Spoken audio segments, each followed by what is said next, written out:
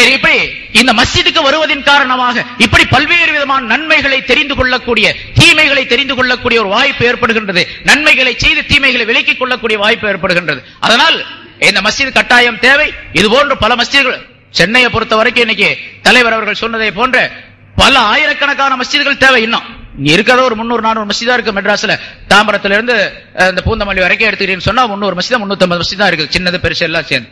ஆனா இங்க இருக்க வேண்டிய கதர் அளவு எவ்வளவு தெரியுங்களா?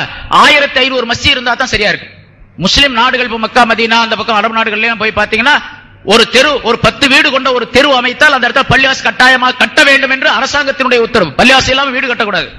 முதல்ல. ஏன்னா வணக்கத்தினுடைய தலம் இல்லாமல் மனிதர்கள் இருக்கக்கூடாது என்பது. அதே போல கட்டாயமாக இருக்க வேண்டும். வணக்கத்தலங்கள் எந்த அளவுக்கு அதிகமாக இருக்கின்றதோ அந்த அளவுக்கு மனிதர்களுடைய தொழக்கூடிய மனப்பான்மை அதிகமாக சில பேர் தொழுகாதவங்களும் கூட தூரமா இருப்பாங்க பள்ளிவாசல விட்டு. சரி இப்ப எங்க போய் தொழுகிறது அப்புறம் அடுத்த அடுத்த நேரம் பாத்துக்கலாம் அப்படின்னு பஜ்ர விட்டுருவாரு. அப்புறம் லொகருக்கு வேலையா போயிடும். அசருக்கு கடையில இருப்பாரு. மகரிபுக்கு கூட்டம் வந்துடும் இஷாவில தூக்கம் வந்துடும் முடிஞ்சு பாரு அன்னைக்கு பூரா தொழுக மாட்டாரு. ஒரு நாள் விட்டுட்டாருன்னு வச்சுங்க அப்படியே தொடர்ந்து. சரி நேத்தான் தொழுகல இன்னைக்கும் பரவாயில்ல. அப்படியே பாத்துக்கலாம் இப்படி ஏன் தொழுகாம ஒரு வருஷம் கழிச்சு அப்புறம் தான் யோசனை பண்ணுவாரு? லைலத்துல் கதிர் அன்னைக்கு வருவார் வருவாரு. அஜித் பயால் செஞ்சுட்டு இருப்பாங்க கட்டாயமா தொழுகணும் அப்படின்ட்டு. அடடா போன வருஷம் விட்டு சரி இனிமேல் தொழுவோம் அப்படின்னு சொல்லிட்டு அன்னைக்கு ஆரம்பிப்பாரு. ரெண்டு மூணு நாள் தொழுவாரு அப்புறம் விட்டுருவாரு. இதுக்கு ஒரு காரணம் என்னன்னு கேட்டா பக்கத்துல மசிதிகள் இல்லாமல் இருப்பது. வெகு தூரத்திலே மசிதிகள் இருப்பது. ஆகவே மஸ்ஜிதுகள் அதிகமாக உருவாக்கப்பட வேண்டும். மஸ்ஜிதுகள் உருவாகுது உருவாவது மனிதர்கள் உருவாவதற்கு சிறந்த மனிதர்கள் உருவாவதற்கு. பண்பாடுள்ள மனிதர்கள் உருவாவதற்கு காரணமாக ஆக்கப்பட்டிருக்கின்றது. அல்லாஹால அப்படிப்பட்ட ஒரு மஸ்ஜிதை இந்த இடத்தில் நமக்கு தந்திருக்கின்றான்.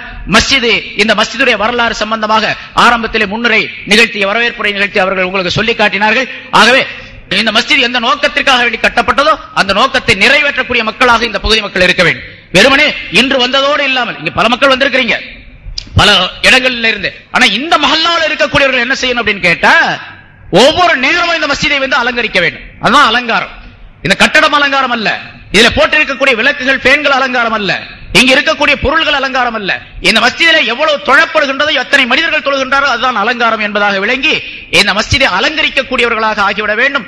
அந்த அலங்காரத்தின் காரணமாக நம்முடைய வாழ்க்கை அலங்காரமாக வேண்டும் என்பதை எண்ணி வாழக்கூடியவர்களாக ஆகிவிட வேண்டும்.